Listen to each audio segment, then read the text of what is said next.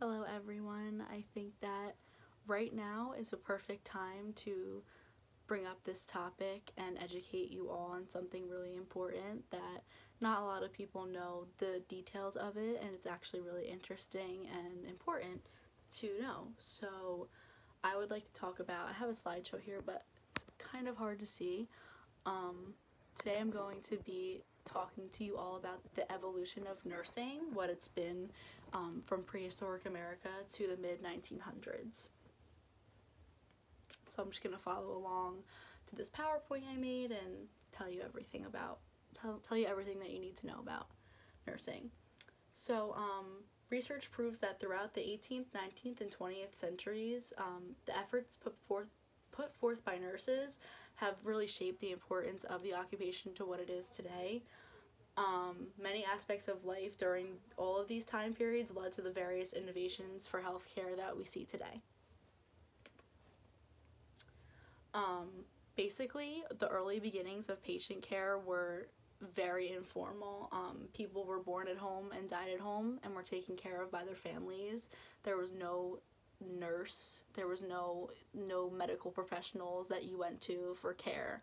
Um, basically, any medical knowledge was passed down through generations, and that's the best knowledge that your family had was how you were taken care of.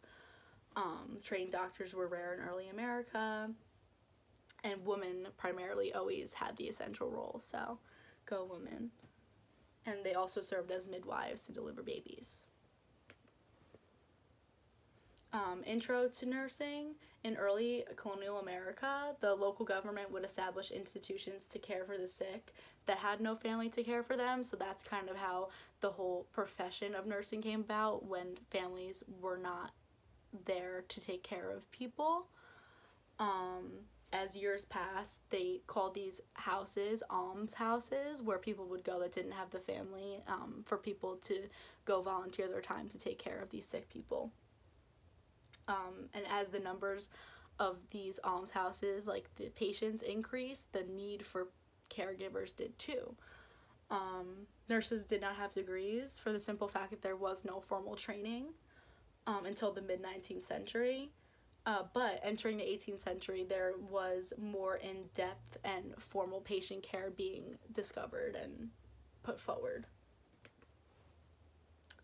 Um, through the 18th century and including the Revolutionary War, uh, war nurses were recruited by Congress to attend to the sick and injured under the command of George Washington. The assignment was one nurse to every 10 patients, which is a lot. Um, I actually work in the hospitals and I'm not a nurse, but the patients that I do have, when I have 10 or more patients, it's very overwhelming. Um, so I can imagine, especially during a wartime, that would have been extremely challenging. Um, male doctors were paid $40 per month and nurses, but uh, female nurses were just given $2 per month, which was eventually raised to $8 to encourage more nurses to volunteer. Obviously, at that time, men were valued more than women, um, which we'll see over time that that was not, that should have not been the case. Um, other advancements were the Free African Society. It was created to benefit free African Americans and recruited them um, to provide nursing care for the white citizens that were sick. Um, there was the Marine Hospital Service, which hospitals were built along the coast and seaways that funded um, the, the merchant seamen that were ill. And then um, the public health service screened new started to screen new immigrants for illnesses that could be studied and um, watched. Basically, the importance of nurses, which I just wanted to put in there um, to talk about, is that women started gaining experience and knowledge and really set the stage for expanding the career and, you know, standard standardizing the career. Um, nurses were constantly faced with dangers such as new diseases that were emerging, which is something that we're facing right now, very scarily. scarily. Um, surgeons perform most of the skilled medical duties, uh, while female nurses did patient care, but they also did so much more things, which still happens today, such as, um, you know, bathing patients, feeding, cleaning hospital wards, cooking, so much. Um, change linen, sweep, disinfect the hospitals, combed hair, all of patient care. It's not just giving meds, it's everything.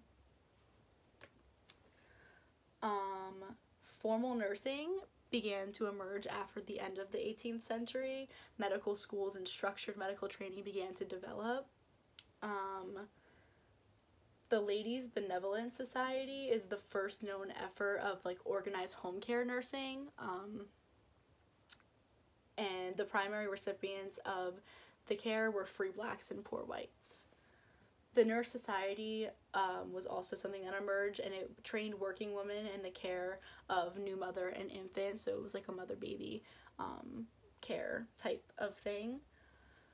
Um, and then the Women's Hospital of Philadelphia was the first um, organization of like a nursing school where it was a six month course in nursing and it was under the direction of a, of a physician that was very well known at the time and it awarded its first diploma in 1869 and is considered the first state chartered school for nurses in the US which is pretty cool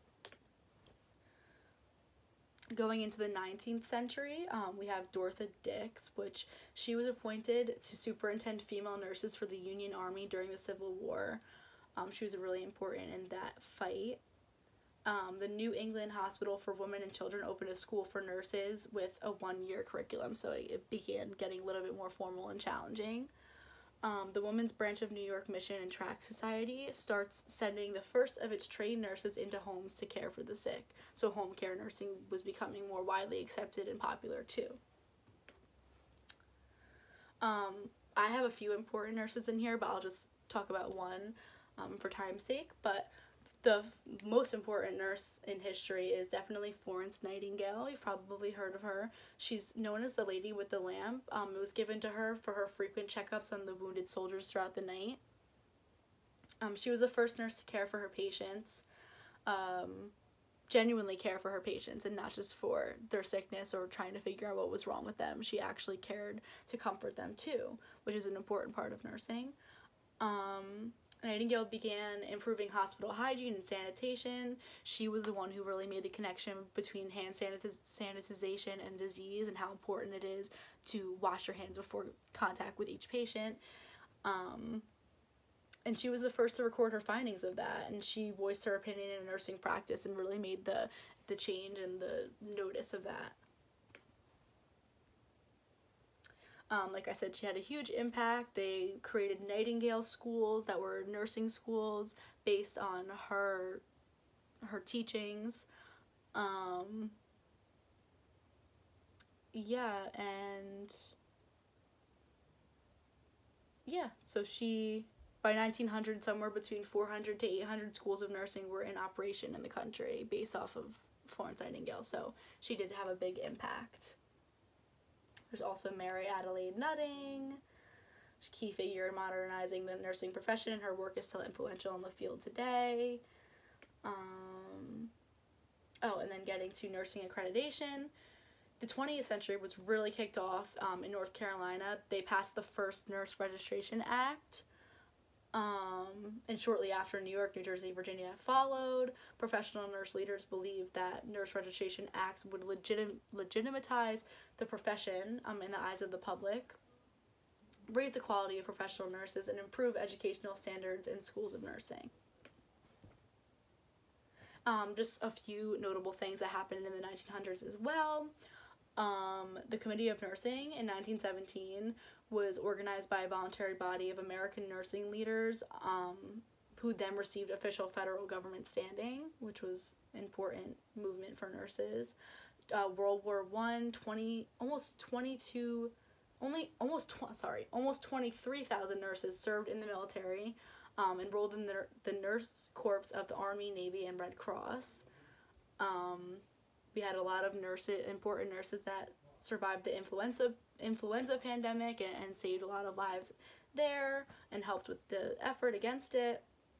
And World War II, we moved up to almost 80,000 nurses serving in the military. About a quarter of the registered nurse population put their effort in there. So that's really inspiring too. Um, basically, as exploring the information throughout the slides, it is undeniable that nursing has made remarkable advancements through all the centuries since it first became a thing. The evolution of this amazing occupation, its improvements can be tagged to the hardworking caregivers that came before us, and they still exist today. And I do feel like this is a perfect time to talk about the importance of nurses when we're suff- like our world is suffering um, a global pandemic right now. So my challenge to you guys is to hopefully you you remember some of these awesome facts that I shared with you and you can reach out to a nurse and just thank them for their hard work. That goes a long way. Thank you for listening.